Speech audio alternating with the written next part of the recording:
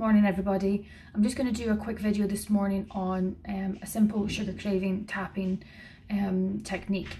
I'm going to be running a food relationship and body image webinar workshop from the 4th of October um, simply because you know so many of us have got a challenging relationship with food and we blame ourselves we think that we don't have enough willpower um, you know, we look at everybody around us and, you know, why can they, you know, monitor what they eat and all these kind of things. And actually, it's not about our willpower, it's about our subconscious overtaking our conscious brain, which will always drive our behaviors and our thought patterns. So there will be a, a lot of um, deep diving into the, the different parts of this and the facets of how we've got to where we are when it comes to food but we're just going to start with a very very simple just sugar craving tapping okay? And you know not everybody craves sugar. It could be cheese it could be crisps it could be something savory. So if that is what it is for you please just change the wording in your own head okay? Even though i seem to crave sugar all of the time i deeply and truly love trust and honor how i'm feeling even though I crave sugar all of the time, I deeply and truly love, trust, and accept myself. And even though I seem to always need sugar in times of stress, depression, fatigue, anxiety, any time where I'm not feeling 100%, I deeply and truly love, trust, and honor how I am feeling. This sugar craving.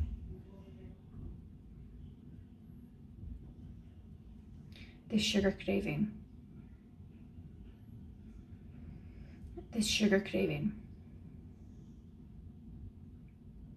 This sugar craving. This sugar craving.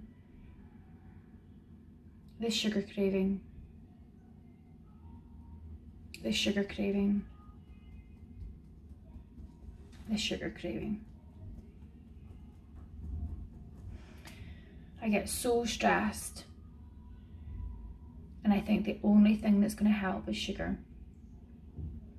To give me a boost.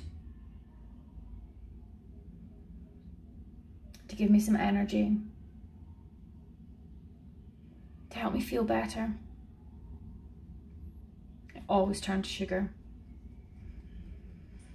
Because I think it's going to make me feel better it never seems quite to do that. In fact, I often end up feeling worse. I feel more tired, sometimes a little bit sick, and then I judge myself. How could I have been so silly to eat all that sugar? Why do I keep doing this to myself?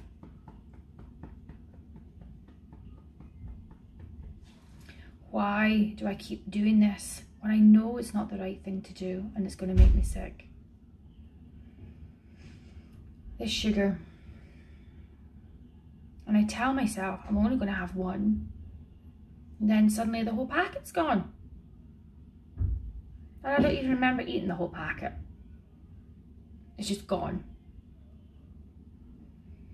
And then I'm so hard on myself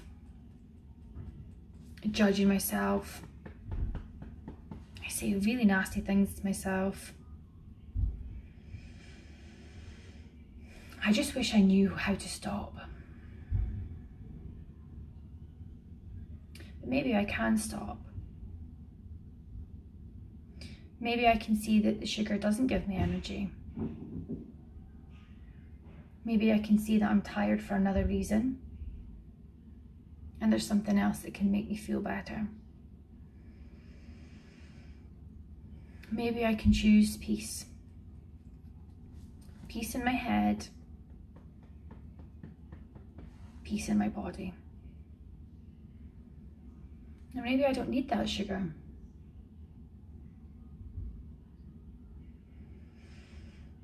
Maybe I just need to work out what exactly I need to resolve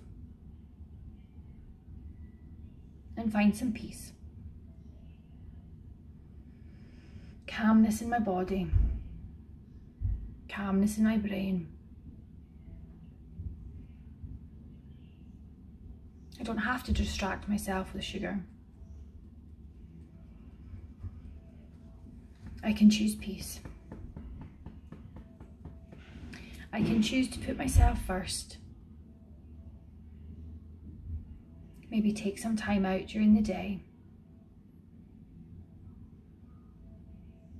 Go and grab five minutes in the bathroom and just focus on me. And then maybe I won't need the sugar. Maybe I can get through the day in the evening without having to go and get that packet of biscuits or that chocolate or those Haribo, Haribo sweeties.